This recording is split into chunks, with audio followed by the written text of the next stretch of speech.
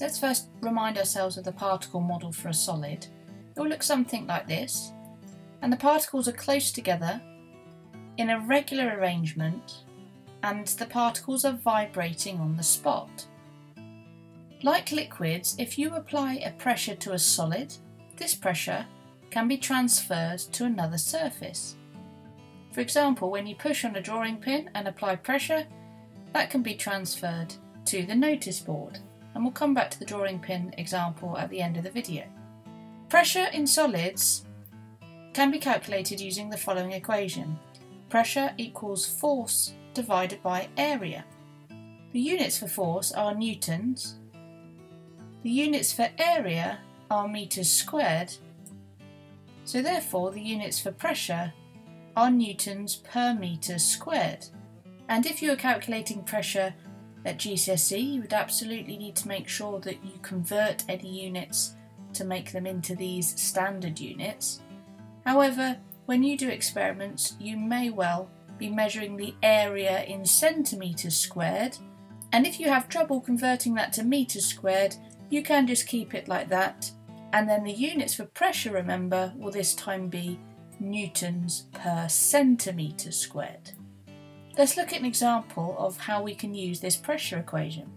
Let's assume the person walking in the shoes has a weight of 500 newtons.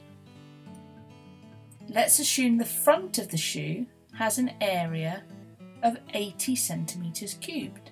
So if we wanted to calculate the pressure that they exert on the ground with the front of just one shoe, we could take the force, which is 500 newtons, and divide that by the area, which is 80 centimetres squared.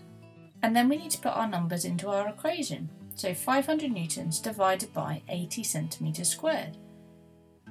And we can work out that when the person walks on the ground with the front of the shoe, they will exert a pressure of 6.25 newtons per centimetre squared on the ground. Next, we can look at the heel of the shoe. Let's assume the person walking in the shoes has a weight of 500 newtons, so the weight is the same as before. And let's assume that the heel of the shoe has an area of just 0.8 centimetres squared. So we put our numbers into our equation again pressure equals 500 newtons divided by 0.8 centimetres squared. And from this, we can calculate that when the person walks on the ground with the heel of the shoe, they will exert a pressure of 625 newtons per centimetre squared on the ground. So if we have a really small area, then we have a much greater pressure when the same force is applied. That is why you'll often see people wearing high heels getting stuck in the mud, because if they apply the force over the heel part of the shoe, then a great pressure is exerted into the ground and the heel will end up moving into the ground and getting the person stuck.